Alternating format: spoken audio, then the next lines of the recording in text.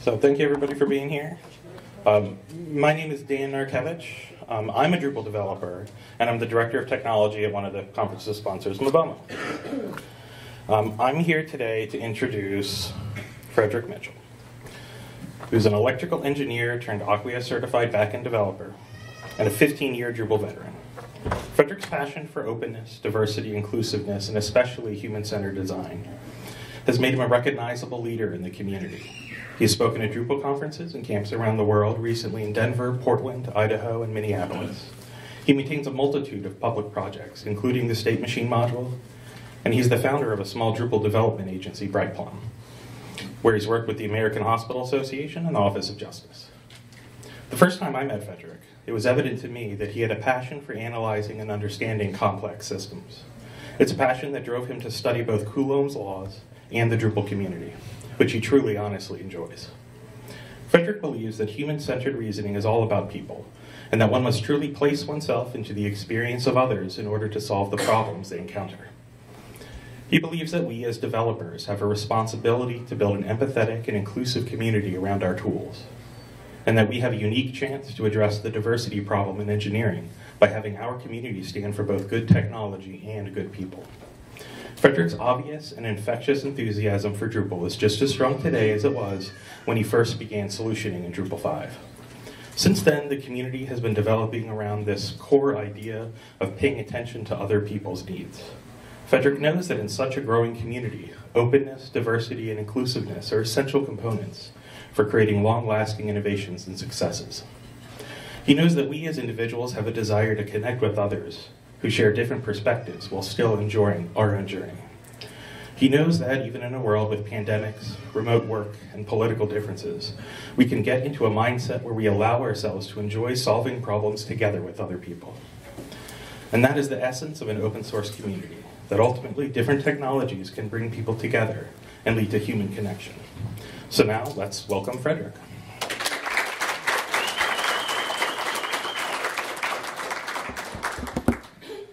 Good morning. How are y'all doing? Whoa. Oh, sorry. Maybe I don't need a mic. Good morning. How are y'all doing?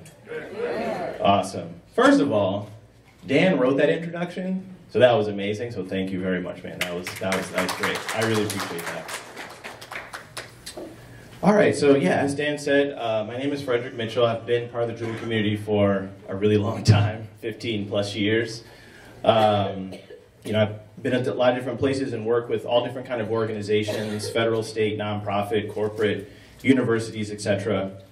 Um, I've actually been doing this talk, and oh, let me quick quick poll. Has anyone seen me sort of do a, do this talk before at other places? A few people. Okay, cool. That's great. No, so you're all new. That that's awesome. So anyway, if you actually Google some of the words on this talk, you'll actually see the presentation come up like seven times. um, and what's really cool about it is um, it's it's grown and changed based on the experiences that I've had and the feedback that I've gotten over time. So this is no different. So hopefully, you know, we can kind of get into it. Um, the original kind of premise of this talk was really sort of focused on I guess, convincing our community that diversity was good. It really kind of went into like this math and science sort of thing and used the Star Trek thing as, as a way to say like, hey, this is a good thing. That's not what this is anymore. I've, I've sort of moved on from that. I'm sort of at the space now, been in this industry for so long that if you want to argue about whether diversity is good, like you can do that online, I guess. I don't know, wherever you decide to argue with it the, the, the, why I've sort of framed this is more of, okay, what do we do with it and how do I more to think about it and how do, what does that mean as part of this community, whether I'm using Drupal, whether I'm programming in Drupal, or whether I'm working with people who are using it. That's sort of the framing here. So, so let's get into it. Um, these slides are online as my, all, all of my slides. So if you all ever want these slides, or and I think this this um, this technology slides.com, it'll actually like you know, slide with me as I'm sort of going. If anyone wants to do that, that's fine. Um, I put the link at the end as well, so um, if you don't capture it now. But if you want the slides, this is where they are. And I apologize for the mic thing. I'm trying to figure out the good distance.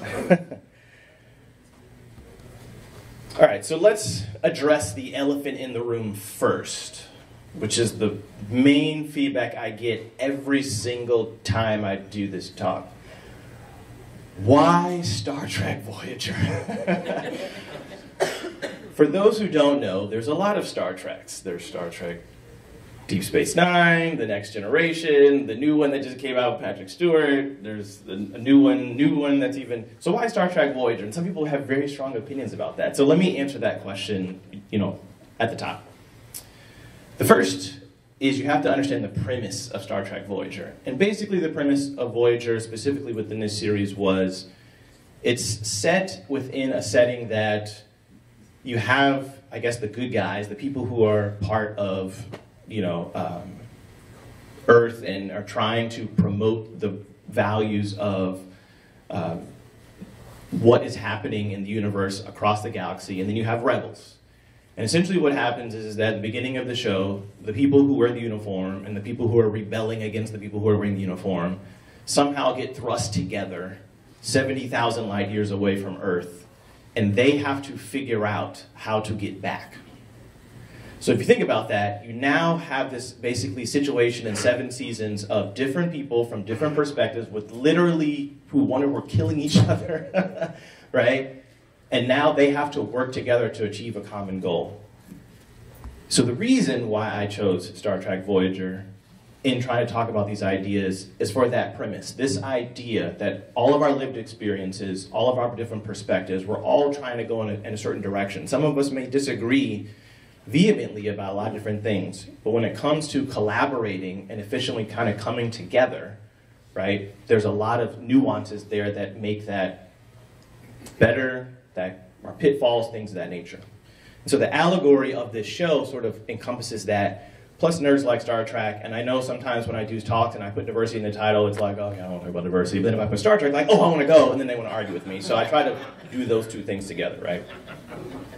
The second reason why I put Star Trek Voyager is because when it came on when I was in, I don't know, middle school, um, Tuvok, who was a black Vulcan, uh, for those who don't know about the Vulcan race, the Vulcan race is, was a race within the show that really, really focused on logic, right? So that's Spock, that's, that's others. In this case, this show sh- showcased a black Vulcan, and around that time, most of the characters on TV, especially black characters, really had certain archetypes. They were either angry, or they were villains, or they, you know, were angry. right? Geordi LaForge in, Next Generation kind of broke that mold a little bit, and obviously a lot of characters, you know, who were black in the, in the series, you know, broke a little bit that mold. But Tuvok was very, very special to me just because of just the concepts of what the Vulcan ideology was, and then what he represented as a person. So um, that's another reason why I picked Star Trek Voyager. And then the other reason why um, I picked Voyager was because it was one of the first shows to have a female lead. So within the science fiction community at that time, having like a female lead, a female captain, I mean, I was too young to really understand all the politics, but the, apparently it was controversial. I don't know. But anyway, and so the conversations and the history and the reasons why, if you actually do a little bit of Googling, kind of get some background on how they kind of came to decisions, it's really, really fascinating. And Kate Mulgrew kind of, you know, yes, she's probably, well, at the time, she was known for Orange is the New Black. I don't know what she's known for now, but at that time, she was Captain Janeway, and that was really cool at the time. So that's the reason why I picked Voyager. So if anyone has any questions, about why I picked Star Trek Voyager, because I get this all the time. You can tell them all those reasons I just gave you. all right, so let's get into the meat of the talk, and let's start with a few definitions first. First, let's talk about when I throw diversity out there, what does it actually mean, right? So we kind of have, I'm going to really just talk about kind of three different types, right? So we have um, demographic diversity, right? So this is the stuff we all sort of know: gender, race, um, orientation, etc. Right? Their identities, how we choose to represent ourselves in our life, right? We have experiential diversity, right? And that's what our experiences, what our affinities, our hobbies, those things are sort of more organic forming. Um, they complement sort of you know what we what, how we identify each other and how we identify ourselves, right? And then you have you know cognitive, right? How we approach problems, how do we think about things? What are those ideologies that we have and we aspire to try to achieve certain goals? And that's usually right based on our experiences, and they all sort of, you know, kind of, again, kind of link towards each other. It's not a single thing, they're not separate. It's more of just sort of how to think about the concept in general. And they're all really fluid, right? Um, they're complex, and I think the part that makes us the most difficult, especially as human beings, is we also sort of get into this trap, right? Bias. And if we just think about the technical definition of bias, what we're really talking about is the shortcuts our brains do to just make sense of things, right? We want to take shortcuts to really understand stuff so that we can process it quickly and kind of move forward. So the first thing our brain sort of does is this thing called thinking fast. Um, that's sort of one side of your brain uses that fight or flight response, and you're, basically you're making a guess. If I see something, if I read something, if I interact with something, and I don't really know what's going on, I'm going to try to take the information that I sort of see or guess or the context clues and, and make a quick judgment. But at the same time, you have the other side of your brain, which is thinking slow, which is okay, based on that initial guess, how do I pull more things out of it? What is my personality? How do I, what are the things that I'm doing to try to get a little bit more details on that, right? Use institutional knowledge. You use, you know, other things that you've experienced in your life to kind of course correct that guess. And this all kind of happens very, very rapidly, right? So we have this very complex, layered thing of how we identify ourselves individually and that cacophony of all those different people based on the definition of diversity, right? Have that part. You have this thing in our brain where we're trying to assess, you know, in a meeting, in a high stress situation, towards a particular goal, trying to understand a concept. You have this bias thing where you're like, okay, I think I understand, or I think I know what that person's talking about, or I don't really know if I feel comfortable with that, but then you try to course correct, right, based on your experiences and things that you've engaged with to see, okay, do I understand this or do I not? Does that make sense? Everyone follow me so far in terms of the definitions? Cool. All right. So one of the ways that is often recommended and thing that I'm going to reinforce multiple times in this talk is, okay, what we're really talking about is sort of how to think, and, and the way that's sort of framed is something called mental models, right? Mental models are one way to put the ideas and things that you have and how you make decisions in context. It's a way to apply them, right, in all your different interactions, and especially within our open source community within Drupal, whether we are working on a module, whether we're mentoring someone, again, whether we're trying to solve a bug, whether we're trying to have a meeting about a thing to understand what a customer is asking for, or a client asks for, or a teammate asks for, or someone who's ultimately affected by that bug is asking for, right? Um, we're trying to figure out, okay, how do I make decisions? How do we make decisions to ultimately get to that solution? It's not really about, you know, what you should do or convincing anyone that they're a bad person or, you know, feeling that you're a bad person the idea behind these mental models is, again, to kind of give you some ways to sort of think. So the first one is called inversion. And basically, what that means is that instead of kind of starting with this idea of prove me wrong, right? That you come in with a particular idea, you start with, what am I missing? You invert the question. So if you think you know, and you're trying to figure things out, and maybe you see something in, in, within your team or within your initiative or what have you, you invert the question and start thinking, okay, obviously there's a disconnect here. Instead of trying to keep saying what you keep saying and keep saying and, and, get that person to basically blunt every particular idea that you have, maybe start with the idea of inverted and say, what am I missing about this particular situation? The other mental model is something called um, the map is not the territory. And basically what that means is that whatever understanding you have, what understanding the other person has, whatever understanding that exists, there will always be flaws and nuance always. And if you keep that in mind, then you, it makes the first part a little bit easier because then you start thinking, okay, there's always going to be something that's not clear. And if I go into that with that assumption, then I can take the actions to sort of break that down. And in an open source community, when you again have so many diverse people, experiences, perspectives, and we already know that inside of our brain we want to make shortcuts, right? This particular mental model helps us sort of check ourselves and comes, and comes into different situations with an open mind. And the last mental model that I just want to kind of throw out there is something called um, the circle of competence.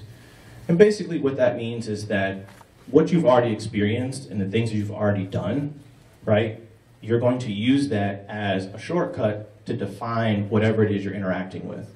And ultimately what that, what that does is that it creates a habit of trying to reinforce the things you already know, and therefore you put pressure on yourself to say, okay, am I right? Was my initial assumption correct? And if you don't feel right, then the emotions start to set in. And what I'm sort of throwing out there, especially again within our open source, all these different ideas we're talking about, you sort of ask your question, okay, is the goal to be right or is the goal to be successful? Because sometimes when you're trying to get to success, right, you may have to ask yourself the first question What am I missing? You guys still with me? I know it's the morning time. I'll try to, try to pick up the energy a little bit. All right. so these ideas filter into really two concepts that define the reframing, which is sort of the other part of you know this talk. Really, two concepts: perspective and heuristic. Whoops. Perspective is how you look at the problem, right? And heuristic is what you use to try to solve that problem. Your perspective is generally informed, again, by your experiences, by your lived experience, by the things you interact with, right? Common perspectives come from imitation. So if you're mentoring someone and they say, well, you know, you should do it this way, and that's how you've learned, then your perspective of how to solve that problem in the future is based on, right, that experience that you had.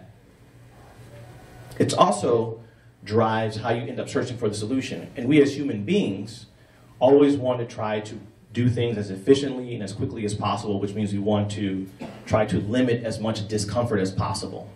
So the groups that we surround ourselves with, the teams, the things, the way that we try to interact with each other, we want to limit that discomfort. So therefore, we have a tendency to surround how we find solutions, right, with things that make us comfortable. Does that make sense? So the desire to conform, right, to not make waves, to look up what has already been looked up, to Google things, uh, all that, that sort of informs how you answer things. So you have your perspective and you have your heuristic. Notwithstanding all the different mental models, notwithstanding what we talked about in terms of shortcuts, and notwithstanding the reality that we all come from different experiences, different things, and we all have these layers of how we define ourselves in a diverse manner. So, why is that important? The reason why that's important, especially in open source and especially with as complex as the problems that Drupal tries to solve. Anyone think Drupal's really simple? Just curious. Okay, cool. Drupal's very very complex, and the, and the kind of things that we're trying to tackle with each other, type of problems that we're trying to solve, especially as knowledge workers, right? Trying to solve the reframing becomes essential to how we become successful, right? This picture sort of shows this, right? On one hand, depending upon where you are, your perspective, and how you what problem you're trying to solve, right, may look completely different than someone else who's literally looking at the same thing and comes from goes to a completely different conclusion. The essential idea. Whoops, what happened? Uh oh. There we go.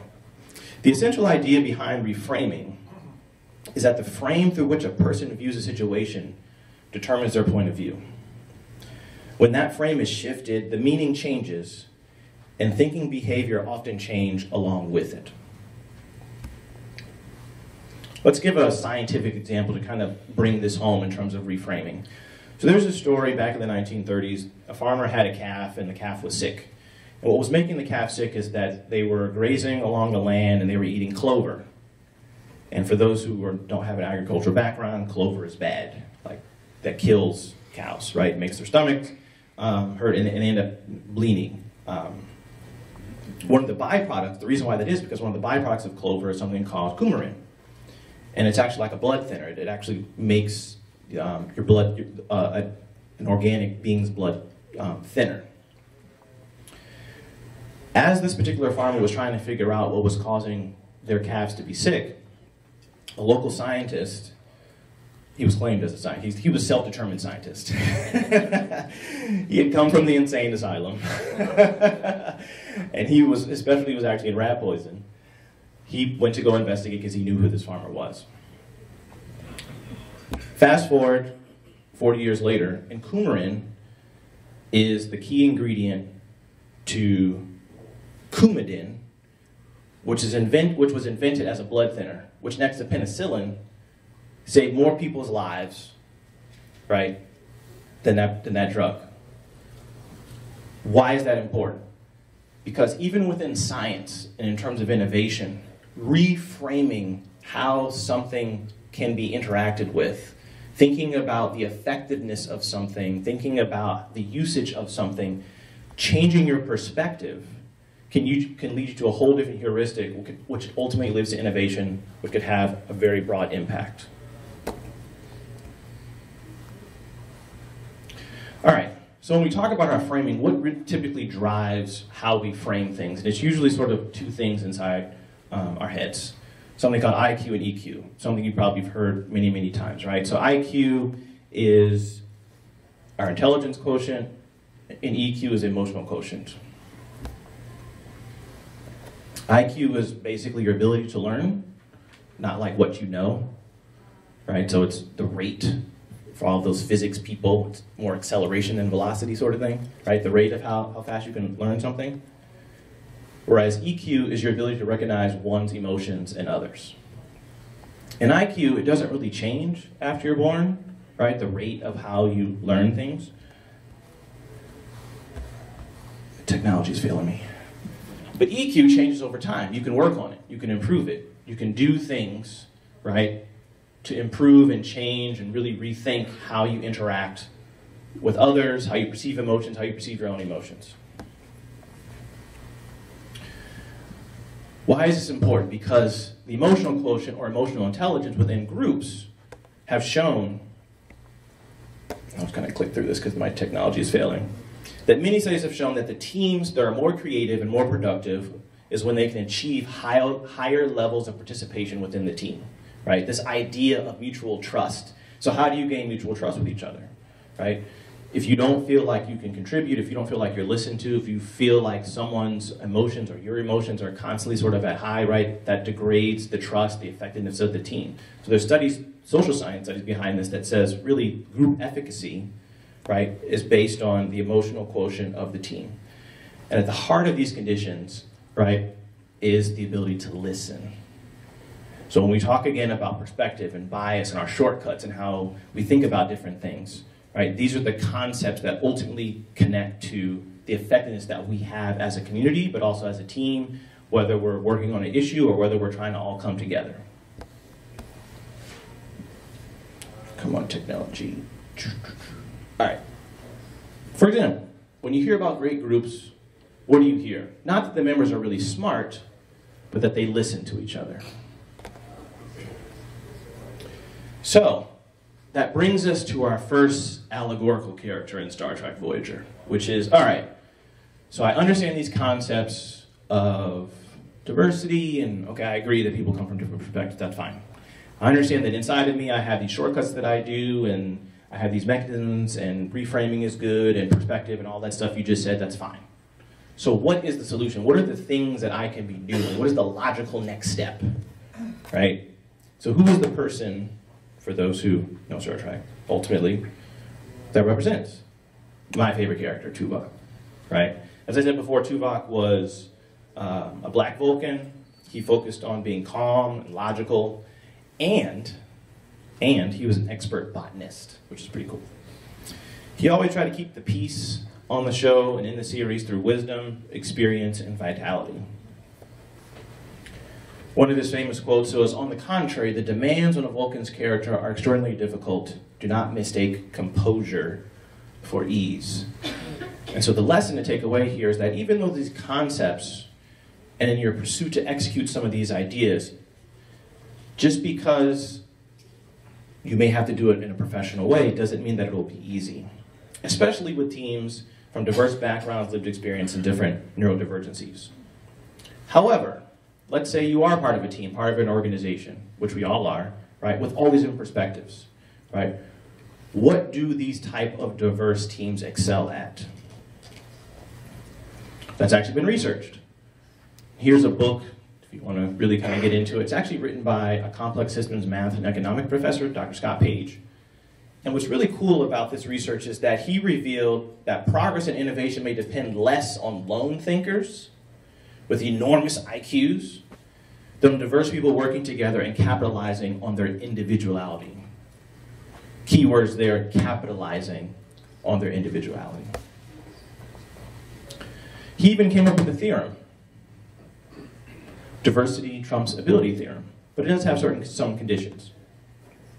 Right? The problem must be hard, like really hard. That cannot be solved by an individual person right? Each solver within that problem has to have a local optima to that problem. So basically what that means is that there's experts, right, within that particular group, designer, UX, architect, right, account manager, things that nature. An improvement can be made on a non-optimal solution. So as long as there's improvements, constant improvements can be made, right, then this theorem holds true.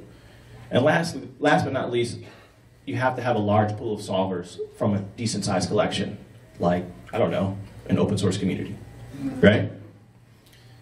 Ultimately, what this is sort of reinforcing is reframing our perspective and heuristic within a mathematical context reinforces right, some of the social science things that I presented before. Really, what this paper sort of dives into is that a group of diverse problem solvers can outperform groups of high ability problem solvers under the right conditions. For those who really, really, really like math, here's the actual theorem. Right? And what you're actually looking at is something called the diversity prediction identity. So if you want to Google that, you can. But what you probably have heard this is called is it's the wisdom of the crowd. Right? What you're looking at, I'm going to say this appropriately because I don't know who the math majors are in the room. The squared error of the collective prediction equals the average squared error minus the predicted diversity. Wisdom of the crowd's research routinely attributes the superior, superiority of crowd averages over individual judgments to the elimination of individual noise an explanation that assumes independence of the individual judgments from each other. All of that jargon basically means the crowd tends to make its best decisions if it is made up of diverse opinions and ideologies. So we've got some social science evidence, we've got some, some math evidence, and I think people still haven't run out screaming, so I think I'm doing an okay job. if you really want to check my work, there's some links here on these slides. Again, not trying to fool anybody. There's actually a counter, right? Because this is a research paper and you got to have counter opinions. So you can do that too. And there's a counter counter to that opinion as well.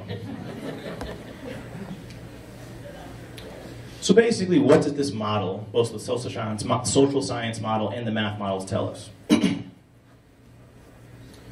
basically tells us that we have to think of people almost as like a collection of tools. Their ability is a reflection of the applicability of those tools to a given set of problems.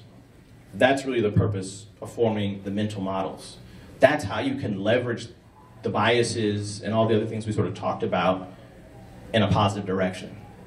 Those are the things that you, if you keep that sort of concept, that's how we get, that is the logical solution. That's how we get to this next phase of our community and the complex things we're trying to solve. Yes, we can subject them for empirical testing, but we can also use them to change how we think about the world. What if open source can make a world a better place by requiring equity and emotional intelligence integral to its interoperability? What would that mean? That in order to be successful in this space, successful within our community, not being right, but being successful, successful within your team, your organization, whether you lead the team or you're part of an initiative, that these become the measures and markers of how we define success, especially given the social science evidence and the mathematical evidence.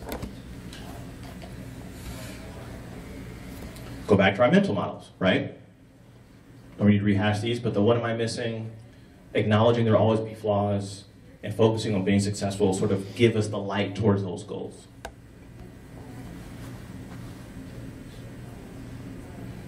The key, though, is leadership. And that's what Jane represented, right? She was the first female captain. She was bullheaded. She was simultaneously dogmatic and impulsive. She melded together a dynamic crew, including the rebels, as I mentioned before. She was stubborn and bold, and she was curious to dive in. Why does things? Why does that work that way that it works? Her famous saying was, you have to keep your shirt tucked in and go down with the ship and never abandon a member of your crew. Could not abandoning someone also be a form of reframing? Star Trek has always been masterful in their shows of providing context to hard problems. And if you've ever watched one, you'll see that they, whenever there's like a hard problem, there's a character that gives little piece, and there's another character that gives another piece, and there's another character that gives another piece, and so you have the leader sort of try to bring all these different things together and they try to keep an open dialogue to make sure all that information is shared and they try to create a culture because they know that not one individual, even someone as brilliant as data, right, can solve every problem. Sorry, I just like crossed different universes there with Star Trek. I'm gonna get to seven of nine. Trust me. I'll, I was trying to save her, but I'll get to that point. I must have skipped slides because I can't find the one. Sorry. Yep, my technology failed. Let me go back Did this part. Oh, no. Mental models. Let's start here. One of the things, the pitfalls that often happens with this, that sometimes leaders have happen, and everyone kind of gets into, is something called the common knowledge effect. And basically, what that is, it's a decision making bias. And it basically assumes that everyone within the team already knows something, right? It's common knowledge.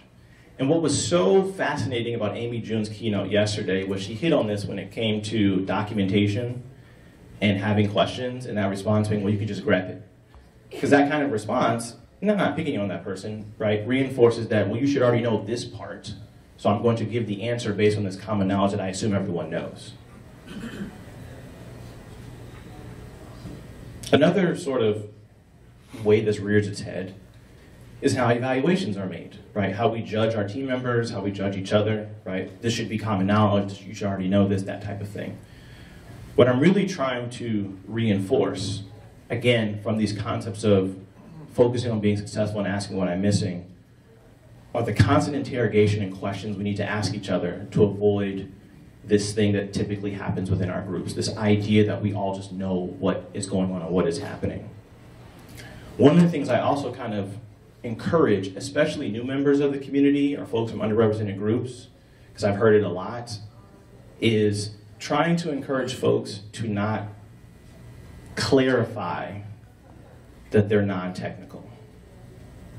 Because I know from talking to different folks, especially women that I know, people from underrepresented groups, new developers that I mentor, they want to try to constantly contextualize themselves saying, well, I'm not really technical, so there's my question. Because I think what ends up happening is they probably had experiences of this particular phenomenon. They assume that when they've asked questions in other places and they don't understand what someone is saying, that the common knowledge that that person is assuming they know that something is wrong with them because they don't know it. And so they clarify and say, well, I'm not this, so therefore can you start from this perspective? And what I ultimately think, especially being in this community for so long, is that that's actually a challenge for those of us who've been here for a long time and those who may have more higher technical acuity from experience, right? That we need to do a better job of making sure that anyone can kind of come to the table and start wherever they start, and that our on ramp is adequate.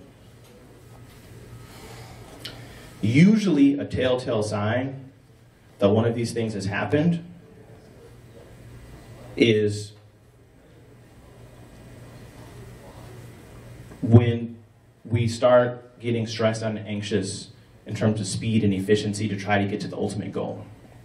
So when you're focusing on trying to build a culture that pulls in different perspectives and focuses on being successful, there are certain pitfalls and things that make this very, very difficult. The first is this process is not efficient. And as engineers, that's really, really hard. we want efficient, quick solutions. We live in a world, right, where growth, expediency, efficiency, outsized returns, that's what's driving a lot of what's happening. It needs to be done yesterday, it needs to be done at a high quality, it needs to be done fast. A lot of this work is not fast. It takes a lot of time, a lot of practice, etc., and it is very difficult. takes a lot of time and practice, and there'll be a lot of mistakes. One of the other things that typically happens, especially when you're around people from different perspectives and different lived experiences, there's going to be miscommunication. It, it's going to happen, right? Especially within this knowledge worker context when we all, most of us work remotely, right? when you work remotely and you're talking to people via a screen or Slack or email, etc., a lot of context is, is lost. And when you're trying to bring together different perspectives and you're trying to understand very complex things, right? Miscommunication will happen, and we try really hard to mitigate some of those things, but we all have to also recognize that it, it's going to happen. And that's, again, putting a lot of stress on our leaders and the people who set the culture within your organization, within our community, within that particular task initiative, to recognize and really speak to these things to make sure everyone's on the same page. We, we recognize this is going to happen. And then the last and that thing is that the other sort of big catch is for folks who believe in these kind of things and who've had a lot of experience being a part of different teams in different circumstances, right? They become very vulnerable because when they spend a lot of time putting these practices in place, trying to have as many conversations as possible, focusing on success, and it doesn't work, and you spend a lot of time trying to do that, those failures hit hard. Those L's are very deep. And share a couple of personal stories where, like, to kind of reinforce what I'm talking about. You know, as I said before, I've been in this industry for 15 plus years. I've worked for a lot of different agencies, um, some of the ones out there. Um, some of the people in this room I've actually worked with, which is great. Um, you know, there was a situation at one point in time um, where I was working on a team. I was asked to be part of a team, and um, the big difficulty of that team was that the product owner wasn't um, didn't really understand Drupal, and they, they were just kind of new to it, but they knew that their responsibility was to move from the existing AEM system to, to Drupal. And so when I was part of that team for about a year, I really focused on trying to understand how to get to success. What were the markers? And a lot of it wasn't technical, it was actually sort of psychological vulnerability stuff, right? So I would spend after hours talking to the product owner, I would talk to the different developers, I would talk to the manager and try to figure out what's going on, and I would make presentations and try to, you know, put things in certain language and the authors and the different department people who were actually using the particular system, I would try to make that bridge. I spent a lot of time trying to unearth sort of the underlying issues of whatever it was that was causing them to spend inordinate amounts of money to try to ultimately get to their goal. and ultimately came down to the fact that just a few people who were in decision makings and were gatekeeping were just insecure. They just didn't understand the technology. They weren't really comfortable saying that they didn't really understand it. And it, it took a lot of time, you know, for me to, to, kind of work with them. And it was great. They ended up, you know, kind of figuring out. I was really happy with, with, with my, um, with, with the effort that we put in.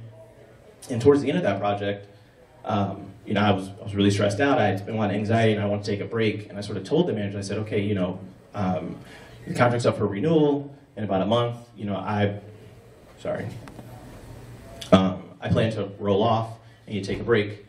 And, you know, that's, fine. Okay, that's great. You know, good job. You know, thank you for all your help, etc. And as soon as the contract was over and I said my goodbyes, I ended up getting a bunch of backdoor channels from, um, from LinkedIn basically saying, hey, once you left, that manager just talked about you like a dog. Like it was, they just felt betrayed. They said that you put all this time in, and now they just felt like you know you just kind of abandoned them, etc. And it really hurt. It just it just really sucked because I thought I did a good job. You know, we as a team thought we did a good job trying to help them, but you know things happen.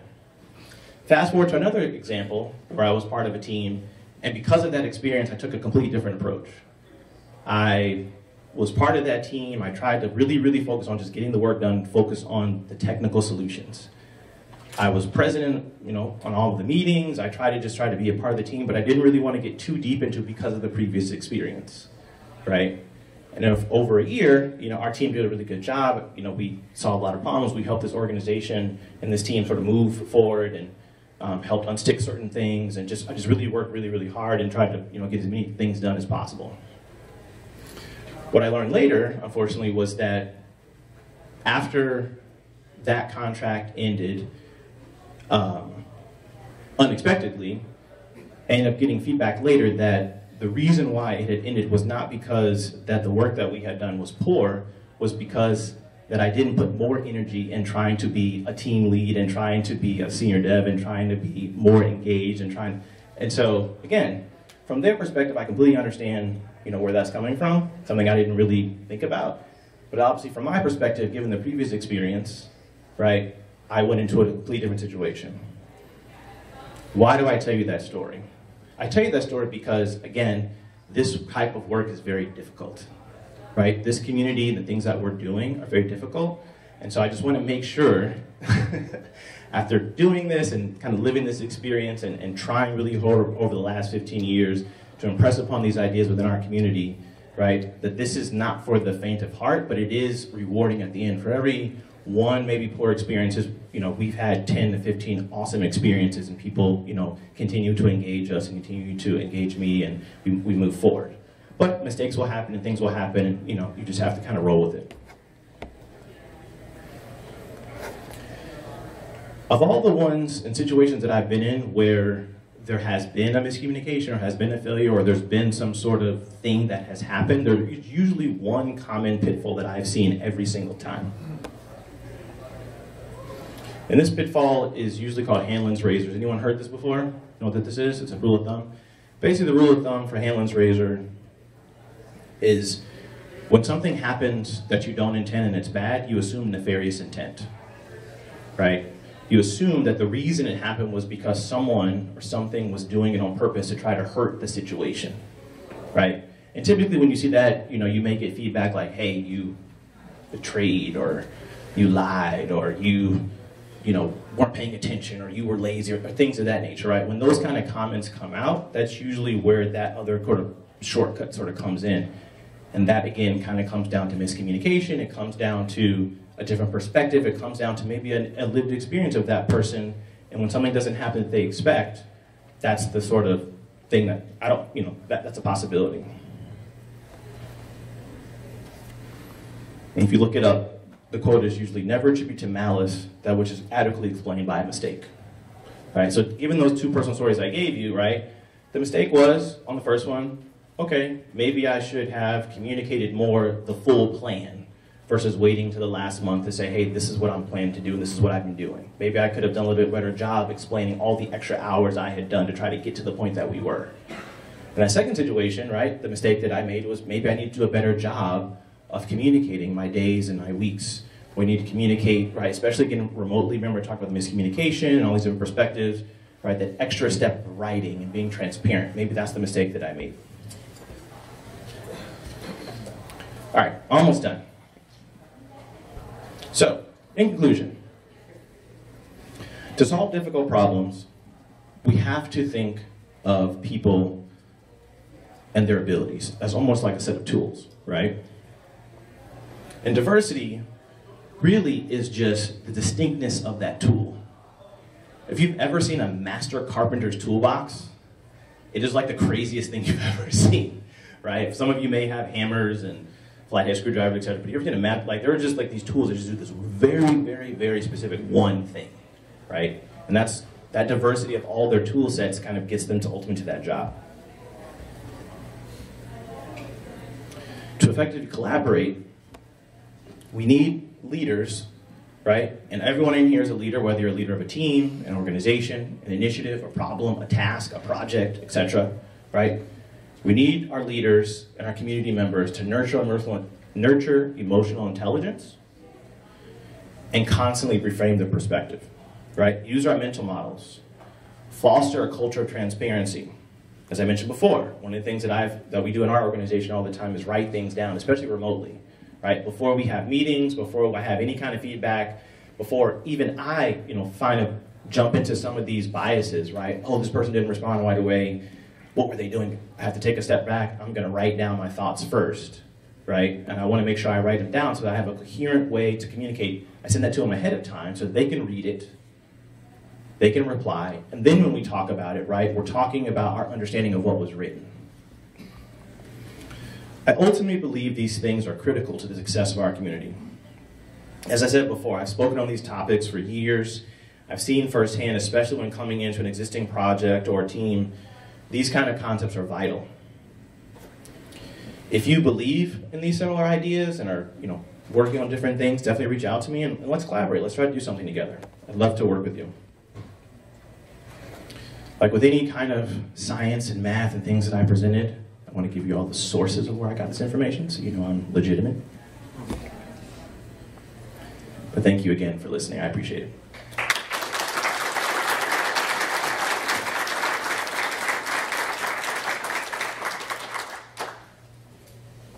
Okay. Is that it? Questions, anyone? Oh, one. Cool. Uh, just a general question, what happened to seven of nine? She was on this slide system, but I don't know what happened. My technology was failing and I was running out of time. Let me see if I can find it. Yeah, didn't get it to B'Elanna. There she is. Yeah, somehow I missed all of this information, and I don't know what happened to my to my slide. But basically, what I was going to say was that seven nine really represents this idea that all the information I just presented to you is relevant, right? Because she was she came from a Borg perspective. She was focused on solving the task, and the the downside from that perspective right, is that sometimes our understanding of what the solutions are can be missed. And the example I'm kind of giving here, these all do the same thing. The first one was actually designed by a human being. The second one was designed by an artificial intelligence. And the third one was designed by even more supreme artificial intelligence. Can anyone tell me what these things are? Kind of, if you look at the notes, you can kind of see it down there, but it's a carabiner, right?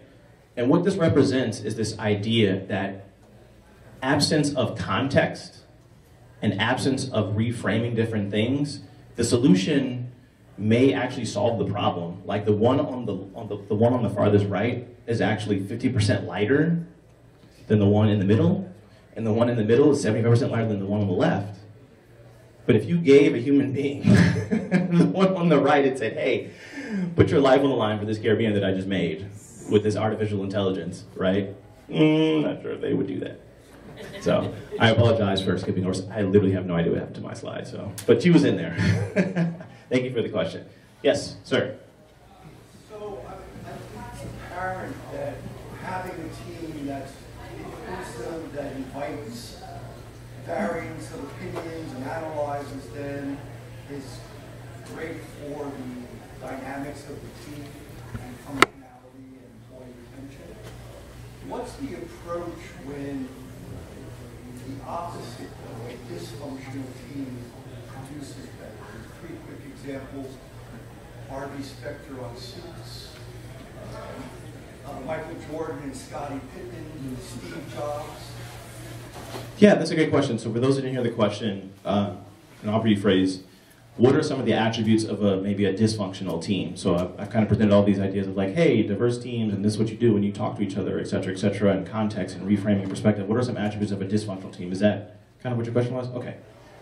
So, and he gave examples. He gave Michael Jordan, Scottie Pippen. He gave someone from Suits, Harvey, someone, and then he gave Steve Jobs and Apple. And I think, I think the what's great about those examples, which kind of goes back to what I put in the presentation, is what is the priority of that team? right? If winning at all costs, making money at all costs, efficiency at all costs, right? Being the best and saying, no, this is what it's going to be at all costs. If those are the priorities of the organization, then that's how you sort of get this, well, I don't really care about all these different perspectives. I just need people to align to this vision that I have, and you're going to do it this way, right? I'll take the Michael Jordan and Scottie Pippen one because I'm from Chicago, that's where, where I flew in from right? Quick side note, I actually was born in Bethesda, but this is my first time actually living here, so. I was thinking about that the other day.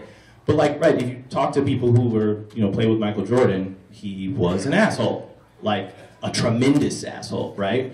But they'll never, but they were like, but I want to win a ring at all costs. So I will deal with this pain no matter what happens because I want this ultimate objective. So I think to answer your question, the sign or the, the characteristics of a quote unquote dysfunctional team is when the priorities of whatever the goal is is more aligned to being right of a single person and saying this is what we need to do and you are right we're going to do this versus the priorities of okay the goal is to make sure that all members of our team and the people we want to bring in the culture we want to build we want them to feel like they can contribute and in sports, that's kind of hard because it's a results-oriented thing. If you don't win, you get fired, right? I'm kind of glad I don't like work in sports because that would that would just be a nightmare, to be quite honest. that's why I like open source. Why I like Drupal, right? A lot of the projects that I've been part of, a lot of teams I've part of, we prioritize. Okay, yeah, we want to hit certain markers, we want to hit certain deadlines, but maybe we should change the scope of what we're going to accomplish before the deadline hits because we want to make sure that we're bringing along different department heads, different authors, different developers, different team members to make sure they're all bought in. Because in a long-term perspective, because we know this project is going to be long tail, we're going to have to upgrade Drupal 7 to Drupal 9 and Drupal 10 and et cetera, et cetera, right? We can't just push through and say, we have to do it this way, this is the right way, et cetera. So I think, I think it's really the organization priorities. And then you'll see right the burnout. You'll see the kind of long meetings edicts stuff like that versus does someone take the time to write it out? Is it of the things that are written out and people's opinions that are written out are they sent out before the meeting so everyone can kind of digest it? Stuff like that. Does that answer your question? Thank you for the question I appreciate it